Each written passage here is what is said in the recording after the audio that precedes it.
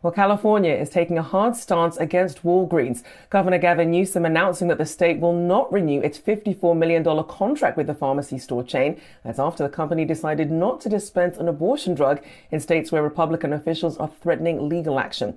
Yahoo Finance senior reporter Anjalee Khemlani joins us with more on this story. So, Anjalee, what is California? Why, why is California taking this stance?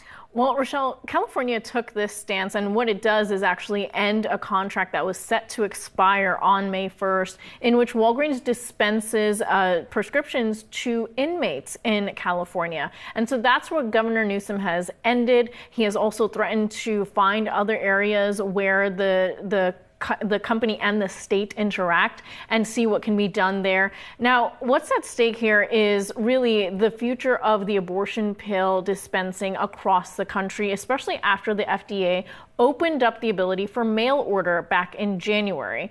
And so what's happening right now is a direct result of that. The governor taking the stance after uh, 21 attorneys general sent letters to Walgreens asking them or threatening them with legal action if they dispensed in the state, citing different legal reasons, and Walgreens saying, well, we agree we're not going to. Uh, you know, dispense in these states right now. So that's that's sort of you know the the basic play by play right now of what has happened and what has led to this specific response from California. I mean, sometimes we do see states on the opposing side of what some corporations want to do, but why has the situation escalated to this level?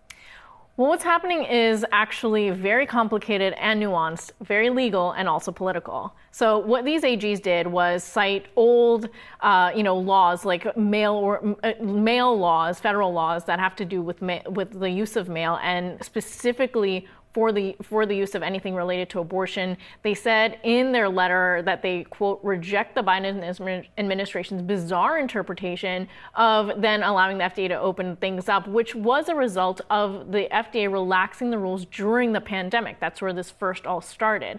Uh, they've also cited state laws prohibiting, and what has been true is that of the 20 or so states, abortion is legal in a handful of them. And there are specific laws that are kind of nuanced when it comes to whether or not the pill is legal but can be used through mail order, can be delivered through mail order, because many of these states tend to have pretty restrictive rules, uh, including, uh, you know, having to have an ultrasound, for example, before a patient is allowed to use the pill, or having to have some sort of consultation or a physician nearby when using the pill. So it does kind of uh, shift the landscape, if you will, when it comes to what actually can be done, whether or not these pharmacies can play in these markets. Florida, for example, already does not allow pharmacies to dispense uh, the pill. There are other states among those uh, that that signed on where abortion is legal. Iowa, for example, where yes, you know it's available now.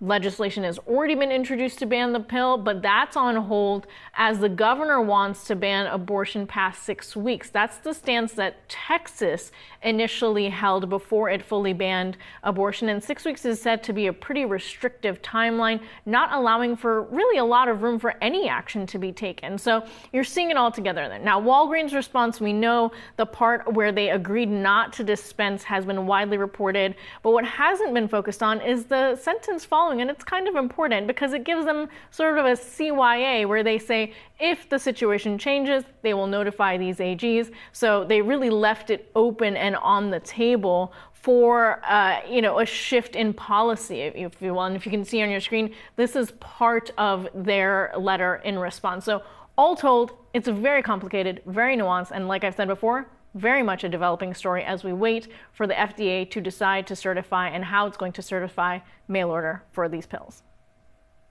Indeed, very interesting take on some of the language there. As you mentioned, they're leaving the door open, so we'll definitely be keeping an eye on this story. Thank you for that breakdown. Anjalee Khemlani there for us.